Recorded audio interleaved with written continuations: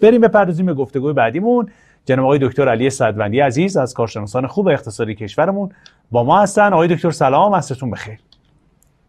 سلام عرض می‌کنم. خدمت شما عصر شما بخیر باشه. در خدمت شما هستم. ممنونم. خب آقای دکتر دولت جدید خدا به سر کار اومده. فکر می‌کنم فردا هم قرار هستش که کابینه دولت جدید به مجلس فرستاده بشه برای رأی اعتماد از این داستان ها و تقریبا می‌تونیم بگیم که می‌خوایم رونمایی کنیم از تیم اقتصادی دولت جدید. خاطرم از هفته گذشته که با هم صحبت کردیم در مورد رشد نقدینگی رشد تورم صحبت کردیم و شما از اوراق به عنوان یکی از راههایی که می‌تونیم این نقدینگی و تورم رو کنترل کردیم بکنیم یاد کردین. اگر موافق باشید تو همین زمینه صحبت کنیم. همین که چه راههای دیگه ای هستش برای اینکه نقدینگی و تورم کنترل بشه و شما چه توصیه‌ای دارید به دولت مردان جدید به ویژه تیم اقتصادی دولت 13 بله سپاسگزارم از سوال خوبی که مطرح کردید. سوال بسیاری از هموطنان عزیز ما هم همین هست. ببینید ما در واقع روش های متعددی برای تامین کسری بودجه دولت داریم. باید ببینیم که شرایط اقتصادی کشور چگونه هست. بعد می‌تونیم تجویز درمان رو تجویز کنیم. فقط میفرمایید. بله. در بسیاری مواقع در بسیاری مواقع آنچه که بنده دیدم در این کشور لاقل در این سه سالی که من برگشتم به ایران بله. اینطور هست که معمولا عکس تجویز میشه. یعنی مثلا وقتی باید درمانی که باید نباید انجام بشه اون درمان اتفاقا توصیه میشه. درمانی که باید انجام بشه معمولا تخریب میشه. این خیلی عجیبه برای بنده. ببینید ما در برخی شرایط خاص وقتی می‌خوایم تورم رو کنترل کنیم میریم سمت سیاست های در واقع بودجه ای این سیاست های بودجه به دو صورت ممکن هست که روی تورم تاثیر کاهنده بگذاره. یک وقتی است که شما در واقع سعی می‌کنید که بودجه انقباضی داشته باشید از این طریق سعی می‌کنید تورم رو کنترل کنید. فقط میفرمایید یک وقت بله. دیگه هست نه اصلا بودجه انبساطی دارید و اون هم می‌تونه تورم رو کنترل کنه بدین طریق که شما در بودجه انبساطی خودتون از محل اوراق تأمین بودجه می‌کنید. منتها مسئله اینجاست که این روش در واقع یک اصطلاحی دارن اقتصاددانان تحت عنوان پالیسی سپیس یا فضای سیاستی. این روش رو نمی‌تونید تا انتها ادامه بدید تا بینهایت ادامه بدید. اگر اینطور بود همه کشورهای پیشرفته می‌رفتن به سمت اینکه مثلا بودجهشون رو سالی 100 درصد رشد بدن. چرا سالی 100 درصد نمی‌تونن رشد بدن؟ چون وضعیت اقتصاد از جای دیگری به هم میریزه. واقعیت این هست که وقتی که شما با موج تورمی مواجه هستید اگر اوراق منتشر کنید اوراق باعث میشه نرخ بهره افزایش پیدا کنه. همین افزایش نرخ بهره ضد تورمی است. و اگر این اوراقی که شما منتشر کردید به عنوان مثال صرف بودجه عمرانی به خصوص بکنی خب فکر می‌کنم ارتباط ما با دکتر علی صدوندی عزیز قطع شد. داریم در مورد افزایش تورم و نقدینگی صحبت می‌کنیم و راهکارهایی که ایشون پیشنهاد می‌کنن به عنوان یک اقتصاددان و اهل فن در مورد کنترل نقدینگی و تورم. آقای دکتر در خدمتی خواهش می‌کنم. اگر صدای بنده میاد ادامه بله بله در خدمتی بله ارزم این بود که اگر که شما شرایط تورمی دارید مثل امروز کشور ما بدترین سیاستی که حالا میشه در پیش گرفت سیاستی از نوع افزایش پای پولی است از نوع سیاست های انبساطی پولی است این بدترین کاری هست. مخربترین شیوه و سیاستی است که میشه در اقتصاد کشور انجام بدیم. و دقیقا الان این انتخاب دولت مردان و مقامات بانک مرکزی است. هرچند که شعارهایی داده میشه در محکومیت رشد نقدینگی و, محکومیت رشد پای پولی اما در عمل پذیرفته شده و در عمل مسئولان محترم به این سمت گرایش پیدا کردن و در حال حرکت هستند.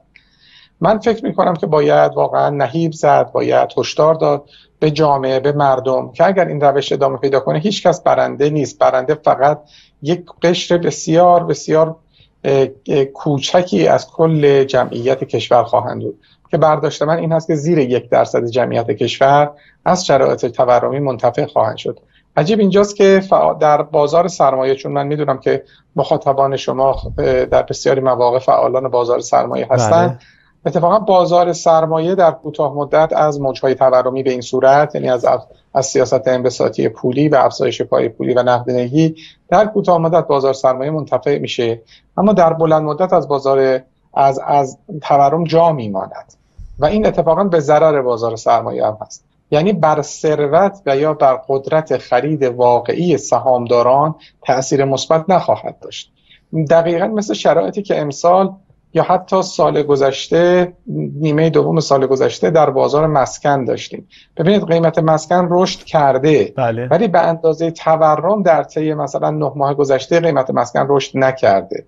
یعنی خریداران مسکن قدرت خرید از دست دادن. البته طبیعی است که کسی که مسکنی رو خریداری می‌کنه یا ملکی رو خریداری می‌کنه دید کوتاه مدت نداره. در مورد بازار سرمایه بسیاری افراد بسیاری از سهامداران البته در کشور ما اینطور است. در بقیه کشورها خیلی وقتا سهامداران دید بلند مدت دارن ولی در کشور ما بسیاری اوقات سهامداران دید کوتاه مدت دارن. من توصیه اکید دارم به فعالان بازار سرمایه که دقیقا باید عکس این مسیر طی بشه. یعنی ما باید سیاست های ضد تورمی در پیش بگیریم. این سیاست های ضد تورمی در کوتاه مدت به ضرر بازار سرمایه است. که من برداشتم اینه که چه یک چیزی حدود 6 ماه یک سال طول بکشه که با توجه به اینکه بازار سرمایه در طی یک سال گذشتم بالاخره روند کاهنده داشته احتمالا خیلی سریعتر بازار سرمایه از خاکستر رویش داشته باشه و مجددا رشد کنه و بالنده بشه اتفاقا نشون داده شده در مثلا در زمان آقای پال وولکر بله. ریاست فدرال ریزرو ریاست بانک مرکزی امریکا در ابتدای دهه 1980 وقتی ایشون سیاست های ضد تورمی رو شروع کرد و از محل اوراق سیاست انبساطی بودجه اون زمان در پیش گرفته شد از محل اوراق تامین شد و همزمان یک مقدار سعی شد که رشد پای پولی کنترل بشه اتفاقی که افتاد این هست که شاید مثلا حدود 6 ماه یک سال بازار سرمایه دچار سستی شد. ولی بعد از اون شما می‌بینید که اصلا یکی از دلایلی که تورم برای همیشه در جامعه امریکا کنترل شد همین رونق بازار سرمایه بود. یعنی اصلا من اینجوری خدمت شما عرض کنم که سیاست ضد تورمی به طور دائمی موفق نخواهد بود مگر اینکه همزمان سیاست هایی در جهت رونق بازار سرمایه هم در پیش گرفته بشن درسته. آقای دکتر توی از فرمایشاتون گفتین که تو چه شرایطی بازار سرمایه از تورم جا میمونه؟ شرایطی که ما نگاه کوتاه مدت داشته باشیم به بازار؟ نه خیر. حالا من ارزم این بود که بازار سرمایه ما بسیاری از افرادی که سهامدار هستن نگاه کوتاه مدت هم دارن. اما مسئله اینجا هست که اگر موج تورمی شکل بگیره و تورم فزاینده باشه بله. در ظاهر شما ببینید بازار سرمایه هم رشد می‌کنه ولی در باطن شما می‌بینید که بعد از مدتی از تورم جا میماند. دلیل این قضیه هم این هست که نااطمینانی افزایش پیدا می‌کنه. در واقع نرخ تنزیلی که شرکت ها که جریان نقد آتی رو باید تنزیل کرد رو به فزونی می‌گذارن. یعنی سهامداران ریسک پذیری خودشون رو در شرایط بسیار تورمی و در شرایط مثلا ابر تورمی از دست می‌دهند. دقت میفرمایید. و بله. بنابراین بازار سرمایه هم ضرر خواهد کرد در نهایت از موجهای تورمی. ولی در کوتاه مدت خب مثلا شرایطی که ما در یک سال گذشته داشتیم اصلا شرایط مناسبی نبود. الان به نظر می‌رسه که با همین نرخ رشد تورم نرخ رشد نقدینگی بازار سرمایه الان به قیمت هست. و شاید در آینده نزدیک اگر که تورم جلو بزنه از بازار سرمایه بازار سرمایه از نظر ذاتی از نظر قیمت ذاتی حتی وضعیت مناسبتری هم پیدا کنه. ولی عرض کردم تورم با خودش نااطمینانی میاره. این نااطمینانی باعث میشه که در نهایت سهامداران صرف ریسک در نظر بگیرند برای نااطمینانی. یعنی حاضر باشن ارزانتر بفروشند از بازار خارج بشوند و شاید از کل اقتصاد خارج بشوند. درسته. آقای دکتر ما می‌دونیم که حداقل طی دو سال گذشته هم تورم شدیدتری رو در اقتصادمون داشتیم. هم, هم که خب خیلی اومدن رفتن دلار خریدن نمی‌دونم سکه خریدن. به حال اومدن پولشون رو تبدیل به یک کالایی کردن. حداقل استدلالش این بودش که داریم سعی می‌کنیم که از کاهش ارزشمندی دارایی هامون بکایم به بازار سرمایه اشاره کردید مسکن هم گفتید. حالا تو این شرایط فکر می‌کنید نسخه ای که باید بچینیم برای اینکه جا نمونیم از تورم چیه؟ تو چه بازاری باید فعالیت کنیم؟ خب ببینید مشکل همینجاست. دقیقا کاملا درست میفرمایید. ببینید سالیان سال بازارهای دارایی رشد نکرده بود. از سال 97 به تدریج بازارهای دارایی بیدار شدند و این قول درون شیشه که در واقع آثار تورمی بله. افزایش نقدینگی بود سالها سرکوب شده بود این آزاد شد. وقتی آزاد شد خب طبیعیه که معمولا وقتی که قیمت دارایی ها چه حالا مسکن باشه ارز باشه سهام باشه. قیمت دارایی ها وقتی شروع می‌کنه رشد کردن کم کم اینرسی پیدا می‌کنه. کم کم کم کم از از حالت تعادلی اگر قبلا آندرشوت کرده بود اگر قبلا زیر قیمت تعادلی بود بله. با به بالای قیمت تعادلی یا به بالای قیمت ذاتی رشد می‌کنه و افزایش پیدا می‌کنه. شرایطی پیش میاد مثل شرایطی که از در واقع نیمه دوم سال گذشته اتفاق افتاده که تمام بازارهای دارایی از نرخ تورم جا میمانند. بله. دقت میفرمایید. حالا ممکنه این جا ماندن یک سال باشه ممکنه دو سال باشه ممکنه 6 ماه باشه ولی جا میمانند این شرایط الان اتفاق افتاده. اگر شما از من بپرسید که از نظر ارزش ذاتی کدوم بازار از بقیه بازارها به بهتر هست من حتی نمی‌تونم تضمین بدم خدمت شما که ارزش پول به طور کامل حفظ بشه. ولی در شرایط مثلا مثلا خدمت شما اگر که 6 ماه پیش فکر می‌کنم با مصاحبه کرده بودیم قبلا. اگر. از بنده می‌پرسید کدوم بازار شما مثلا خود بنده سعی می‌کنم حضور پیدا کنم عرض می‌کردم فیکس اینکام یا بانک. این مربوط به 6 ماه پیش بود. اگر امروز از بنده پرسن که کدوم بازار شاید ارزش پول رو بهتر حفظ کنه من برداشتم این است که بازار سرمایه خواهد بود. مشخصا بازار سهام خواهد بود. بله. منظورم از بازار سرمایه بازار سهام هست. درست. در خدمت خواهش می‌کنم. آقای, دل... آقای دکتر بخشید دلار همیشه یه مؤلفه بوده که ما چشممون به اون بوده تو بورس نمی‌دونم تو سایر بازارها. اصلا انگاری یه خطکش شده برای اقتصاد کشورمون. دلار میره بالا نمی‌دونم بازار مسکن بازار خودرو همه بازارها تلاش می‌کنن خودشون رو همقد این بازار کنن. به نظرتون دلار می‌تونه گزینه مناسبی باشه برای در امان ماندن از جا ماندن از تورم؟ والا عرض کنم ممکنه. ببینید مسئله ای که هست این هست که اگر ما به برجام بر نگردیم بله. دلار با نرخ رشد نقدینگی خودش رو تطبیق خواهد داد. اینو مطمئن باشید. یعنی اینجوری نیست که شما اگر دلار خریدید سود کنید.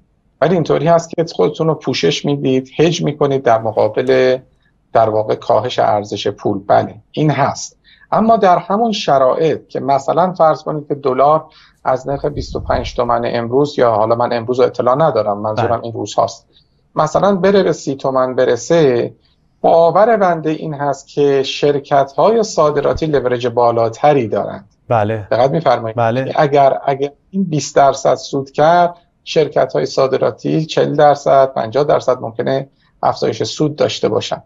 دقت میفرمایید. بر این هست که من خدمتتون عرض کردم که بازار سرمایه در شرایط فعلی به نظر می‌رسه بهترین ابزار هست برای هج در مقابل تورم در مقابل ریسک کاهش قدرت خرید. اما در حالت کلی اگر در نظر بگیریم شاید بازار سرمایه هم در حالت کلی یعنی هم شرکت های صادراتی رو در نظر بگیریم هم بله. شرکت هایی که بازار داخلی دارند و ریالی هستن اگر هم اینا رو در نظر بگیریم بازار سرمایه ممکنه تا حدی کاهش قدرت خرید رو جبران کنه. ممکن هست که به تورم در نهایت نرسد. نه اینکه امسال نرسد باور بنده این هست که در امسال بازار سرمایه حتی بیشتر از تورم هم امکان داره سود بده ولی در بلند مدت امکان این که بازار سرمایه از نرخ از تورم های فزاینده رو به بالا و سعودی جا بماند هست. درسته. آقای دکتر دو تا موضوع. یکی اینکه یکی از بینندگان ما آقای حمیدرضا باقری از تهران نوشتن که روند دلار رو تا پایان سال چه با برجام چه بی برجام چه عددی پیش بینی می‌کنی؟ ببینید این این همین نکته بود که من می‌خواستم خدمت عزیزان اطلاع بدم. ببینید الان ریسک ورود به دلار خیلی بالاست. چرا؟ بله. برای اینکه ممکنه برجام پیش بیاد. حالا من برداشتم این است که حتی اگر برجام اتفاق بیفته ممکنه اقلانیت بعد از 50 سال به کشور ما بازگردد. بله. ممکنه اقلانیت به سیاست گذار اقتصادی ما بازگردد. اقدام به ارزپاشی نکنه اگر اقدام به ارزپاشی نکنن قیمت دلار و اگر تلاش کنن قیمت دلار رو بالای قیمت تعادلی نگه دارن من برداشتم این است که قیمت دلار در حد 22 تومن 23 تومن می‌تونه ثابت بمونه. بسیار برای اقتصاد ایران خوبه برای بازار سرمایه بسیار خوب خواهد بود. شرایط ویژه‌ای میشه برای اقتصاد ایران مهیا کرد به شرط که کار رو به کاردان بسپارن. اما اما اگر که به برجام برگردیم و بنای بر ارز باشی باشه و بنای بر فرصت سوزی و ثروت سوزی باشه در کوتاه مدت هر نرخی رو میشه برای دلار تعیین کرد. حالا بعد مثلا برای سه ماه و شش ماه میشه هر نرخی رو تعیین کرد. ولی مطمئن باشید شش ماه بیشتر دوام نمی آورد و مطمئن باشید قیمت دلار به بالای 20 تومن باز خواهد گشت. بله. خب عزیزانی هم هست ادعا می‌کنن میگن که قیمت دلار به زیر 10 تومن برسه. میشه برسه. ما 60 میلیارد احتمالاً حدوداً ذخایر ارزی داریم می‌تونیم همه رو در بازار داخل تزریق کنیم و صرف فرار سرمایه بشود. این هست که ببینید ریسک این سیاست گذارانی که بی در جهت ثروت سوزی در جهت فرصت سوزی در اقتصاد ایران حرکت می‌کنن اینها ریسک های عمده اقتصاد ایران هستند این عزیزان. دقت میفرمایید. اگر بله. اینها غالب بشوند در کوتاه مدت ما ثروت سوزی بزرگی خواهیم داشت. درسته. آقای دکتر خیلی کوتاه یه پیامک دیگه هم داریم. گفتن که با توجه به شرایط تورمی که می‌بینید آیا پولمون رو بذاریم تو بانک یا تو بازار سرمایه؟ ببینید من بردار من بارها و بارها قبل از این اشاره کرده بودم که بانک رو ارجح می‌دانم تا ابتدای تیر 1400 من بانک رو ارجح می‌دانستم. از انتهای تیر 1400 حالا دلیل انتهای تیرم این بود که بعد از فصل مجامع.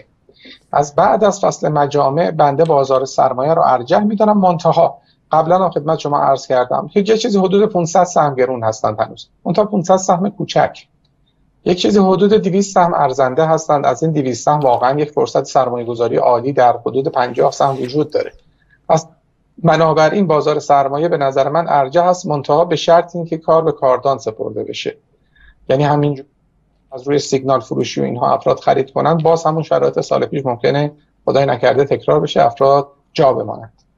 درسته. آقای دکتر خیلی کوتاه بحث هم زیاد پیش میاد تو بحثمون هم بحث پیش میاد. اون 15 تا 500 تا سهمی که گفتین گرونه و 200 تاش که ارزنده است به صنعت خاصی مرتبطه اینکه نه در کلان بازار همچین اتفاقی افتاده؟